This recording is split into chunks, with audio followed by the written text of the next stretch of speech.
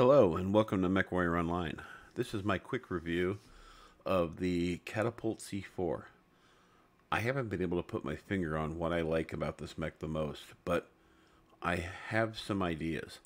And what it, really stems down to is the sound that the uh, LRM-10s make when they're firing.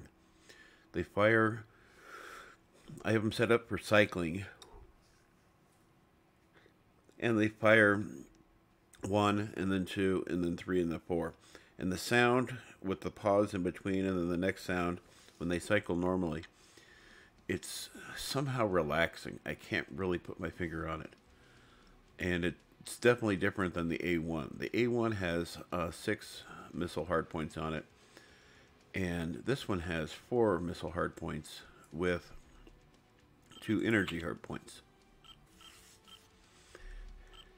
And it's just so relaxing. So what I've done with this guy here is I've changed the motor and put down a uh, smaller motor, less weighty, we'll say, motor, um, a uh, 14 ton. And this brings the speed down to 59.8, so essentially 60, which is kind of slow for a heavy mech, but not incredibly. But it seems to work really well for me. I've got two ER medium lasers on board, and then I'm running four LRM-10s with Artemis.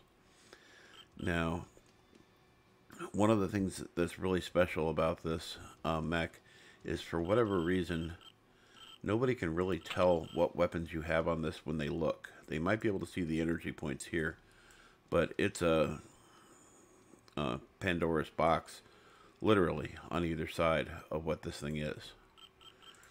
Uh, you could have um, MRM 30s.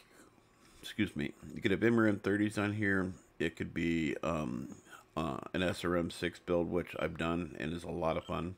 It's more fun on the A1 actually, but um, it's uh, it works really well. The only thing I don't like about this is that it has a minimum distance that is um, it's for the missiles which clan mechs don't really experience. But the other thing is, is clan mechs have a closer um, minimum distance for um, doing damage. These ones, they just suddenly stop doing damage whatsoever, and I think it's someplace around 120 to 150 meters. Um, it doesn't say. Um, yeah, there's nothing. There's no direct number that tells you. I'm sure you can find it in the match. Um, but for whatever reason, I find this mech relaxing to drive. So what do we got here? So firepower is 50, speed is 59.8, and uh, heat management is 1.35, which is more than ample. And when you go to the quirks on this guy, oh, it's going to do that thing. I hate that thing.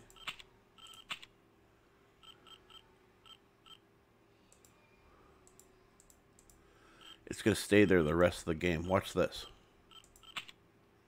Um, now it's gone. So it's back again. I think you actually have to go into the match to make it go away. I hate that. Oh, it's gone now. Yay. Anyway. So, energy cooldown, minus 20%. Missile heat generation, minus 10%. Range, plus 10% missile cooldown minus 20%, missile velocity plus 10%, laser duration minus 10%.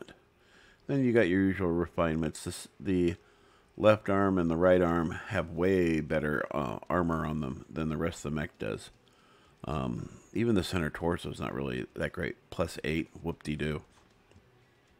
Sensor range, plus 100%. So this makes this thing really, really fun to drive. So range on this is 1125 and I think I have this thing scaled out fully for range as well. Yeah, I do. So that, with that, it makes it 1100 and 25.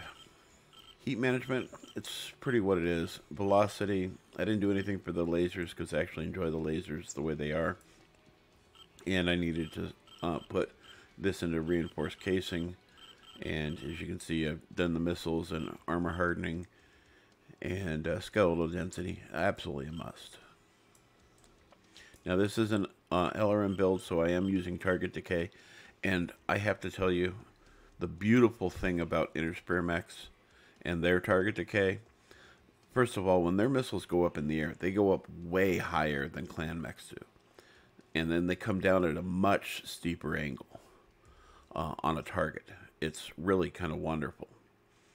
Um, clan mechs don't do that.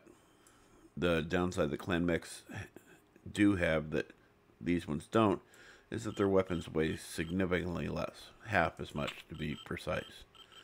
So as an example, this weighs uh, six tons, and I think it's uh, four and a half tons for the uh, clan equivalent, or three and a half tons. So this is significantly heavier. But this is really is a lot of fun to drive, and uh, as long as you remember to put the case armor on there, if you have if you lose a component, uh, you're still in the match. I had a match yesterday where I lost this arm and that arm, and I had sparks coming out of the both sides while I was driving. It looked like I was having miniature ammo explosions. I wasn't, but um, all I was down to was one laser, and I finished the match out. And I still had 718 damage with two killing blows, and one of those kills I made with the remaining laser. So I didn't get a KMDD with it, but I was still uh, vital and in the match. And I really wish I knew why this thing has a little solar panel on it. It seems to have this other little panel here that looks like it also might be a solar panel. I don't know what that is. Be cool if you could have like a little SRM2 up there. That'd be dope. But, you know, it's what it is. Anyway, hope you like this and hope you see you in the matches.